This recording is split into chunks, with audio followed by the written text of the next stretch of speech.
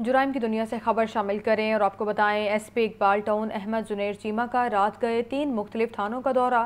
थाना गुलशन इकबाल सब्जाजार और गुलशन रावी का रिकॉर्ड और पुलिस एहलकारों की हाजिरी को चेक किया।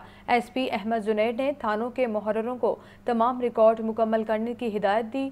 एस पी इकबाल टाउन का थानों में आए शहरियों के मसाइल फौरी हल करने का हुक्म, कहा कि जेर हरासत मुलजमान पर तशद हरगिज़ बर्दाश्त नहीं किया जाएगा। मजीद तफसीत जानते हैं, नुमाइंदा लाहौर न्यूज़ मुबीन हैदर से। मुबीन, बताइए इस बारे। बिल्कुल S P Iqbal town Ahmed Zubair Cheema ने रात के जो है तीन थानों का दौरा किया है। S P Iqbal town Ahmed Zubair Cheema ने थाना, गुलशन इकबाल, गुलशन नबी और सब्जार का दौरा किया। थाना जाग के रिकॉर्ड और अहलकारान अफसरान की हाजिरी को भी चेक किया। और मुहर्र थानों को भी तमाम रिकॉर्ड को बर वक्त पुलिस तक पहुँचाने की हदायत दी की। इसके अलावा इकबाल टाउन अहमद जुबैर चीमा ने थाने में आए शहरियों की दरख्वास्तें सुनी फौरी हल करने का हुक्म भी जारी किया एस पी इकबाल टाउन ने हवालात में मौजूद कैदियों से भी बातचीत की और हवालात की सफ़ाई और कैदियों की हिफाजत के इकदाम को उन्होंने बगौर जायजा लिया।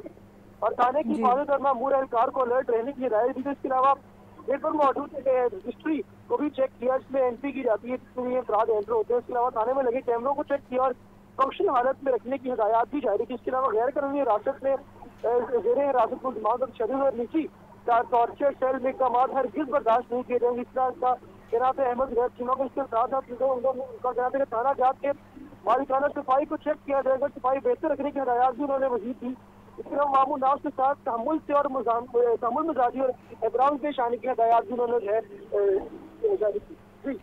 ठीक है, मुबीन हैदर, बहुत शुक्रिया आपका अपडेट करने के लिए।